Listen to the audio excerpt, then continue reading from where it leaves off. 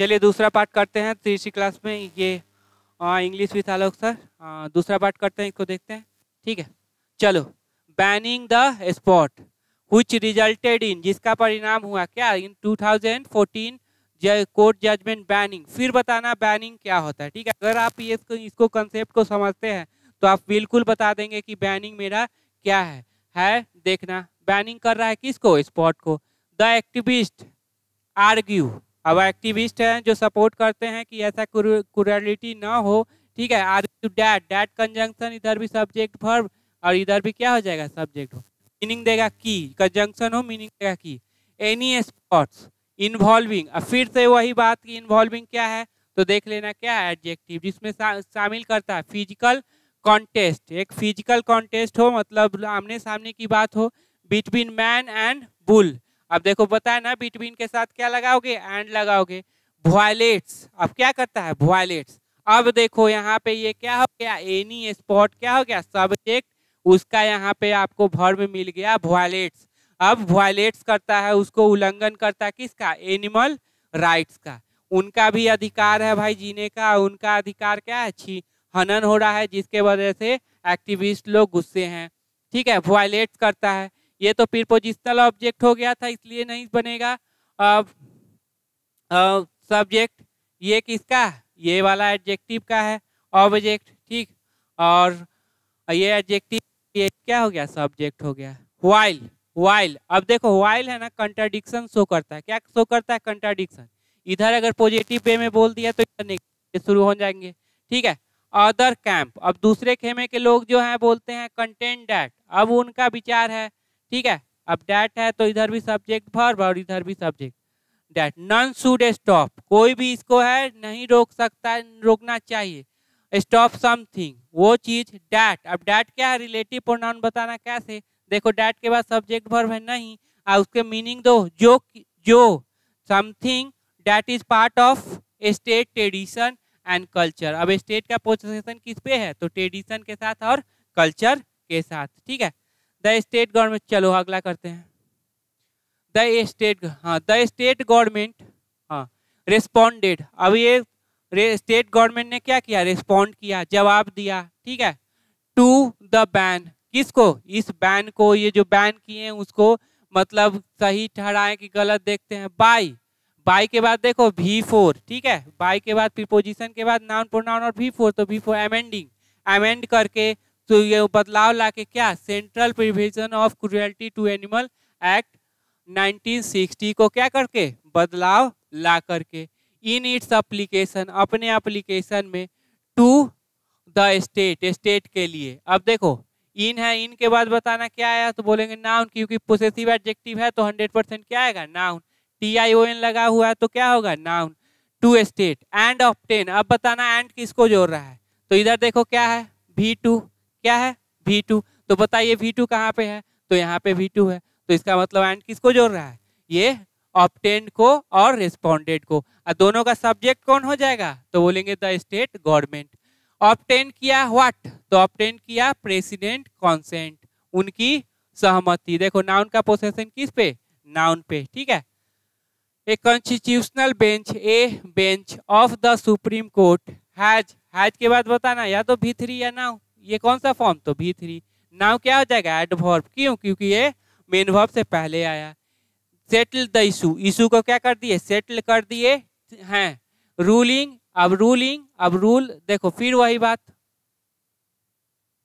Ruling क्या है? तो बोलेंगे adjective in favour of Jallikattu rule किए किस पे? फेवर में? जलीकट्टू के। As a cultural event cultural event के रूप में। एज क्या है तो बोलेंगे प्रीपोजिशन कंजंक्शन रहता तो सब्जेक्ट भर ले लेता।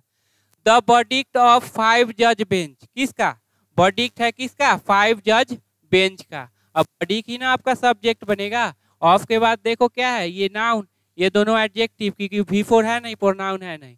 ईच एंकर्ड अब एंकर्ड मतलब होता है एंकर टू मतलब होता है बेस्ड ऑन जो वर्डिक्ट है वो क्या है बेस्ड ऑन है। टू के, टू की फाइंडिंग दो इंपॉर्टेंट जो फाइंडिंग है उसमें।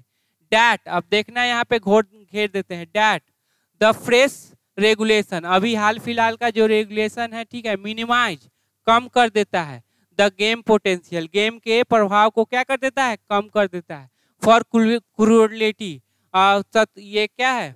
कुर्ता के लिए एंड पेन फॉर्म्ड यही डैट के लिए ये भर्व आया है। That form the base for the इतना जजमेंट फॉर्म द बेस मतलब वो उसी पर आधारित है, ये जजमेंट ये डैट के लिए क्या आ गया? फॉर्म्ड आ गया, ये हो गया रिलेटिव प्रोनाउन उसके लिए यहाँ पे ये सब्जेक्ट वर्ब हो गया. दोज कंडीशन दीज दोज के बाद हमेशा क्या जानते हैं? पुरल काउंटेबल नाउन अब सब्जेक्ट तो भर plural those those condition where no more prevalent prevalent मतलब व्यापक नहीं है, अब चल नहीं रहा, इसका कोई यूज़ नहीं है.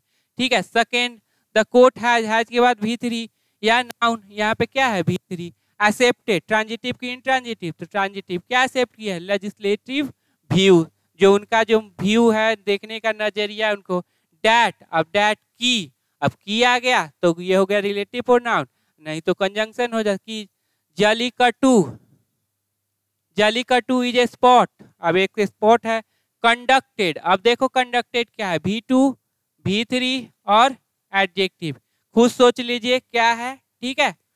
हाँ कमेंट करके बताना। Every year to follow follow करना, अनुसरण करना। ट्रेडिशन एंड कल्चर किसको अनुसरण करना? Tradition and culture it has accepted फिर वही बात। इट हैज़ भीतरी है एक्सेप्टेड द लेजिस्लेटिव विस्टम क्या? लेजिस्लेटिव विस्टम ऑन व्हाट जिस पर। ऑन व्हाट जिस पर। ऑन व्हाट कंस्टिट्यूट जो कि कंस्टिट्यूट करता है। कल्चर हेरिटेज अब ठीक कल्चरल हेरिटेज ठीक है? सांस्कृतिक जो हमारी विरासत है, उसको होल्डिंग फिर बताना होल्डिंग क्या होल्डिंग डैट यह बताते हुए द कोट कांट कैन है तो भर्व का फ़र्स्ट फॉर्म इम्बार्क के साथ हमेशा याद रखना ऑन लगता है। और कोई काम ये अति कहीं, कोई काम क्या करना? शुरू करना। ठीक है? सच अब बताए हुए है ना सच के बारे में आपको। सच के बाद अगर सिंगुलर काउंटेबल तो ये लगाना ज़रूरी है। और नहीं तो आपको सारा कुछ वही पुलरल लगाओ सिंगुलर लगाओ अनकाउंटेबल लगाओ, सब लगाओ, लेकिन अगर सिंगुलर है तो लगाना पड़ेगा भाई। ठीक है? याद रखिएगा सच का कॉन्सेप्ट बहुत इंपॉर्टेंट है। हाउएवर अब इससे पहले देख लो पॉजिटिव है तो इधर क्या हो जाएगा? निगेटिव कंजंक्शन है तो इधर भी सब्जेक्ट वर्ब इधर इट डज नॉट डज के बाद वर्ब का first form does not mean इसका ये मतलब नहीं। The court has in any way किसी भी दूसरे तरीके से डाइल्यूटेड मतलब कमज़ोर कर दिया है किसको? The part of earlier backed verdict अब जो पार्ट है, पहले के बॉडिक्ट के जो पार्ट है, उसको कम कर दिया। ऐसा बात नहीं। रीडिंग इनटू समझना लॉज समझना किसी दूसरे के नज़रिए से क्या है? समझना। Indian law the full import of international rules in favour of animal right import मतलब होता है तुमको कह दो मीनिंग क्या होगा? मीनिंग समझना इंडियन लॉ को फुल इम्पोर्ट मतलब सारा कुछ सारा, सारा क्या है? वहीं से मीनिंग लगा रहे हैं इंटरनेशनल लॉ से ही मीनिंग लगा रहे हैं in favour of animal rights के लिए। रदर बल्कि बजाय इट हैज़ डिफर मतलब रेस्पेक्टेड क्या हो जाएगा? Respected to cultural sentiment culture जो धारणा है, उनको भी पे अंडरलाइनिंग फिर बताना क्या होगा? ठीक है? जो कि अंडरलाइन कर रहा है लेजिस्लेटिव स्कीम बाय हुच जिसके द्वारा स्पोर्ट्स जलीकटू ये race in Karnataka bull cart racing in Maharashtra are not interdicted मतलब होता है banned are not banned by the law preventing animal cruelty जो कि रोकता है किसको? एनिमल क्रुएलिटी को। तो बता देना प्रिवेंट क्या है। दिस मीन्स इसका मतलब organisation organiser as well as respective governor respective government still bear the burden मतलब क्या होगा? पे पे करना।